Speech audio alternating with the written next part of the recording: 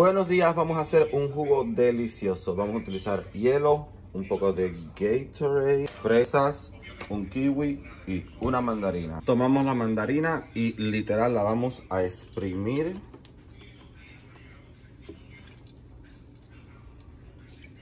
Se lavan las manos cochinas. Cortamos el kiwi y las fresas. Lo añadimos a la batidora. Y una vez que ya tenemos todo dentro, entonces vamos a poner un poco de Gatorade. No mucho, algo como así. Añadimos unos cubos de hielo y a mezclar.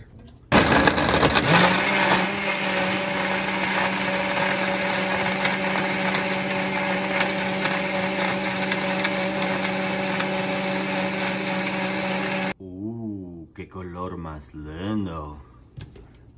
Retiramos la batidora.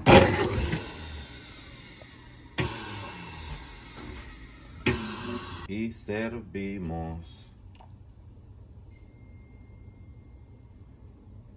Y esto es delicioso. No le pongan azúcar. No le pongan leche. Tómenlo así, natural. Esto te va a hidratar. Además, por las propiedades de las frutas que utilicé, ayuda mucho para la presión arterial, para el colesterol alto. Es muy saludable y delicioso. Cochinando con Anika.